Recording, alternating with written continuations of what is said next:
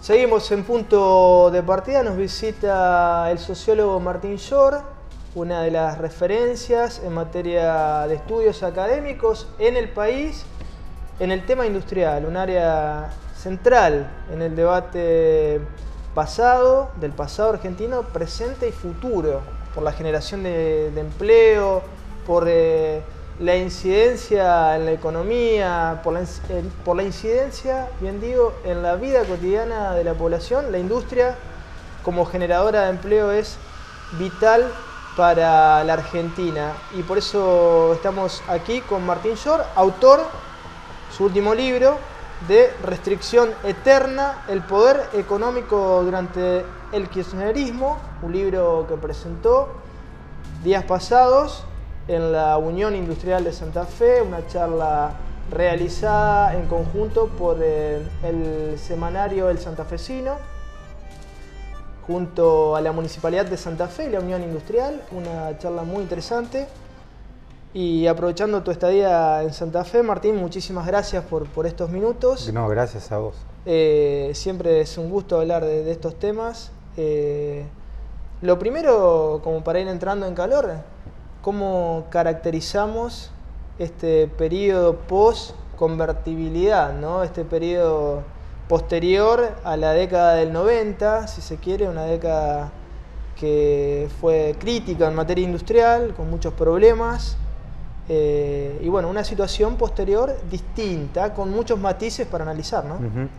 Mira, primero sería bueno plantearle a la gente cómo lo caracterizan los sectores más cercanos al gobierno se habla todo el tiempo de que la Argentina, de, digamos, del kirchnerismo hasta nuestros días, del 2003, 2002 para acá, estaría o habría transitado por un proceso de reindustrialización muy grande, que eso se ve en un crecimiento industrial fenomenal. Cuando uno analiza el sector industrial, lo que ve es que efectivamente la industria creció muchísimo en esta última década, sobre todo hasta 2007, 2008 va a tener un crecimiento muy fuerte que va a estar acompañado de una creación de empleo muy fuerte. A partir de 2008 el crecimiento industrial empieza a crecer menos, a ser menos potente, se deja de generar empleo, lo cual es un elemento que me parece importante en la discusión, y 2013-2014 la, la, industria está claramente en una etapa recesiva. Entonces lo primero que hay que decir es, es verdad que la industria creció, es verdad que el modelo reciente económico generó bases de crecimiento distintas a la de la década de los 90, pero también hay muchos elementos de los 90 que por, distintas cosas que podemos ir charlando, se han profundizado muy fuertemente en esta última década y que hacen ver, por lo menos de lo que yo pienso, que esta etapa fue de crecimiento industrial pero no de desarrollo.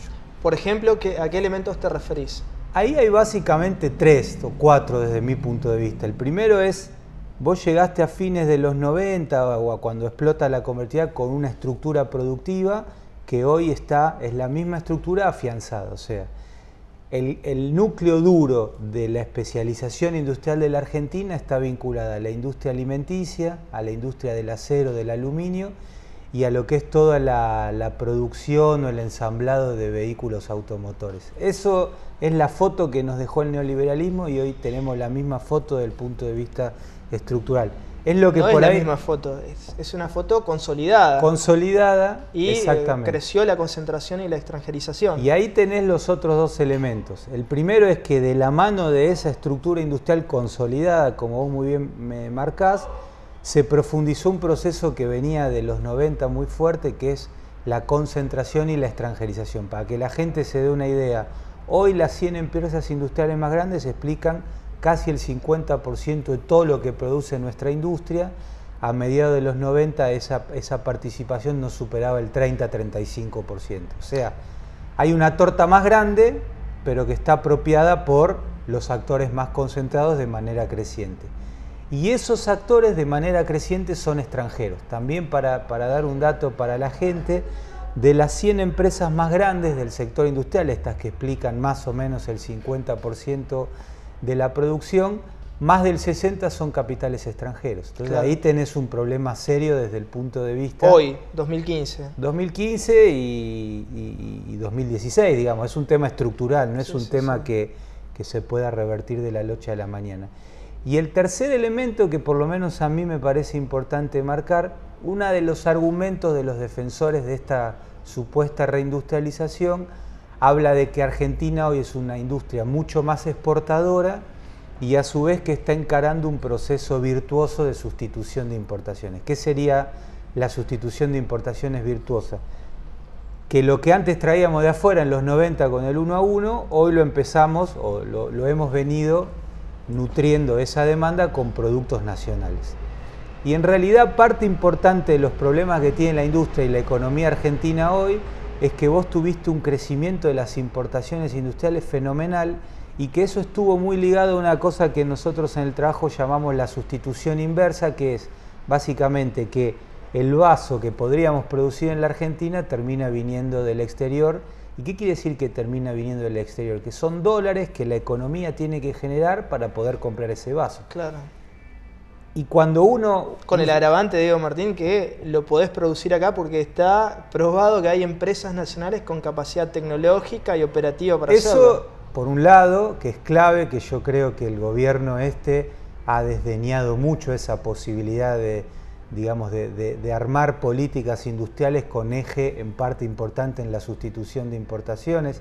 Hablábamos antes de Aldo Ferrer, Aldo Ferrer es el, eh, creo yo, un intelectual de muchísimo prestigio que durante mucho tiempo convalidó las políticas del gobierno y que una de sus principales críticas es la falta de una política en el campo de la sustitución de importaciones. Ese es un elemento crítico, esto de ciertas producciones que se podrían hacer en el país, porque como vos muy bien marcaste, hay masa crítica, o sea, tenemos industria y que no se están haciendo por la forma que asume la propia, los propios instrumentos, las propias políticas. Y el otro tema es de, uno podría decir, de economía política. Los dólares que la industria no genera son los dólares que tiene que generar y que da otro sector. En el caso de la economía argentina, esos dólares vienen fundamentalmente del sector agropecuario. Entonces, cuando vos apostás a crecer sin desarrollar la industria, el poder económico de los generadores de esos dólares, que son los grandes exportadores del sector fundamentalmente agropecuario, es muy fuerte. Entonces, claro. tenés la paradoja de que tu discurso es muy industrialista, pero el poder económico se concentró en el sector agropecuario. Entonces, me parece que discutir la industria remite también a estas cosas. En definitiva, a cuál es la ecuación de poder económico real que hay en una economía en un momento histórico determinado. Es interesante marcar, eh, eh, Martín, me parece, y lo has estudiado reiteradamente a esto, eh, por qué uno marca el tema de la concentración y la extranjerización, porque uno puede escuchar, o alguien que nos está escuchando en esta charla, sí, hay elementos que son interesantes, pero la realidad es que hay más empleo industrial ¿qué me importa la concentración y la extranjerización? O sea, no se ve eh, como, algo, como algo tangible, perjudicial, te digo, en el común de la gente. Incluso para esa gente me parece una cosa interesante por ahí para, para pensarlo. Esas empresas grandes, las concentradas, son empresas que en la mayoría de los casos su ganancia depende mucho más de exportar que de vender al mercado interno, por ponerlo de una manera que se pueda comprender. Quiere decir que para esas empresas que exportan mucho más de lo que le venden al mercado interno, no les importa que los salarios sean altos, porque si los salarios son altos, como por ahí en otra etapa de la historia económica argentina, no es que la gente compra más productos a esas empresas, porque ellos venden afuera. Claro. Entonces, cuando vos decís tenés una economía muy concentrada, donde 100 empresas explican el 50% de la producción industrial, también esa estructura productiva y esa estructura empresaria le impone un límite muy concreto a la capacidad de la economía de recuperar salario y mejorar la distribución del ingreso. No, casualmente un componente importantísimo de 2008 para acá, cuando el gobierno decide acelerar fuerte la política de redistribución del ingreso, sin embargo vos ves que la distribución del ingreso se estanca. O sea, hay todo un esfuerzo muy importante y creo yo muy, muy positivo del gobierno nacional de aumentar los salarios, de la asignación por hijo y de muchas otras cosas que paradójicamente cuando vos mirás la curva, el gráfico de la distribución del ingreso está estancada. Claro. ¿Qué es lo que está detrás? La inflación. ¿Y dónde está la raíz de la inflación, por lo menos en mi perspectiva? En buena medida en el núcleo concentrado de la industria. Y ahí es donde vos ves esta contradicción a los tipos no les cierra que mejore la distribución del ingreso. O sea, que vos, yo, que el conjunto de la sociedad tenga más para gastar, quiere decir que a los tipos lo único que les hace es que esas exportaciones que nutren sus ganancias sean menos competitivas internacionalmente o, que ganen menos por esa exportación. Entonces eso hay que discutirlo también, me parece. Cuando vos decís tenemos una foto consolidada, también es que consolidaste actores, empresas, grupos empresarios de capital nacional y sobre todo extranjero, que le están poniendo un límite objetivo muy claro a la capacidad de la economía de mejorar el salario y de seguir mejorando la distribución del ingreso. Claro, es un tema central, me parece.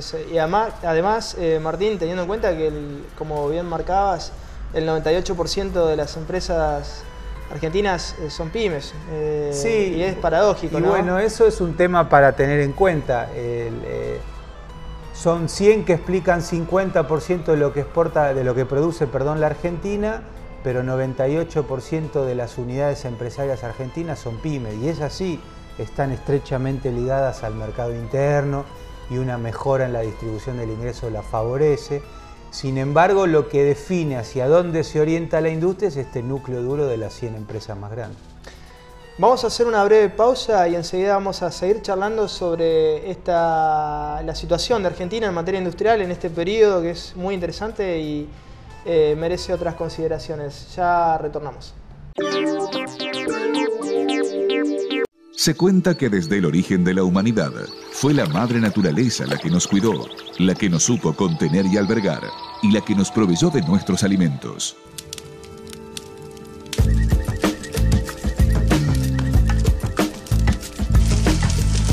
1980 Fuego del Litoral. El mejor menú de pescados en su escenario natural.